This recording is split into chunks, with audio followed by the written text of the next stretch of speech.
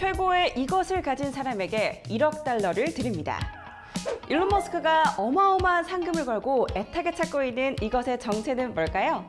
에너지 지식을 급속 충전해 드립니다. 에너지 드링크 최아영입니다. 타겟은 바로 Mister Carbon. 전 세계는 지금 탄소와의 전쟁 중입니다. 지난해 이산화탄소 배출량은 368억 톤으로 사상 최고치를 기록했습니다. 이산화탄소 사냥을 위해 꼭 필요한 기술이 있었으니 바로 CCUS. 저 실례지만 어디 CC입니까? 낯설고 어려운 이름이라고요? 하나씩 뜯어보면 전혀요. 먼저 CCUS의 첫 번째 C는 carbon, 우리의 목표 이산화탄소를 말합니다. 두 번째 C는 바로 캡처, 이산화탄소를 잡는다는 뜻인데요. 이렇게 잡은 이산화탄소, 그 앞에 놓인 운명의 갈림길은 바로 저장과 활용입니다. 즉, 포집한 이산화탄소를 저장하고 활용하는 기술, 이것이 바로 CCUS입니다.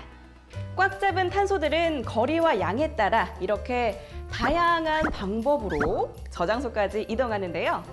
자, 자, 다 왔으니까 이만 내리라고. 이미 쓰임을 다한 고갈 유전과 고갈 가스전 혹은 깊은 지하의 소금물을 포함한 지층인 대염수층에 저장하는데요. 저장뿐만 아니라 다양한 산업용 연료 생산에도 활용 가능합니다.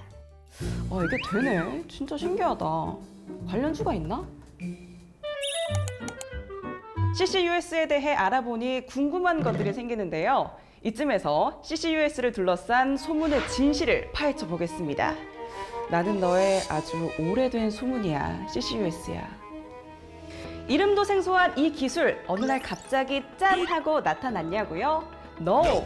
탄소 포집은 1930년대에 등장해 무려 100년의 오랜 역사를 가진 기술입니다. 탄소 저장 기술 역시 1970년대부터 상업 가동 중이니까 이 또한 반백년의 역사를 가진 기술이죠. 전 세계에서 수많은 프로젝트들이 상업 운전 개발 중이니 이미 인증받은 기술이라는 거 감이 잡히시나요? SK ENS도 탄소 포집 기술 개발에 박차를 가하여 청정 블루수소 생산과 연계된 CCUS 사업을 활발히 추진 중입니다. 포집한 탄소를 나오지 못하게 하는 문단속 안전할까요? 새어 나오진 않을까? 지지는 괜찮을까? 걱정은 NO!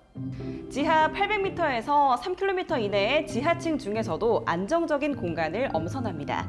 이때 탄소를 액체에 가까운 상태로 주입하기 때문에 시간이 지나면서 지하층에 원래 있던 물에 용해되거나 서서히 광물화되어 안정적으로 보관할 수 있습니다. 이 모든 과정은 탄소 누출 여부를 정밀하게 검사하는 모니터링 기술을 통해 관리되는데요. 만약 누출이 발생했을 경우엔 즉시 차단할 수 있는 체계를 갖추고 있어 충분히 통제 가능합니다. 국제에너지기구에서는 CCUS 기술 없이는 탄소 중립 도달이 불가능하다고 했습니다. CCUS, 너 좀 기특하다. 그런 의미에서 CCUS를 이 구역의 탄소 중립 보안관으로 임명합니다.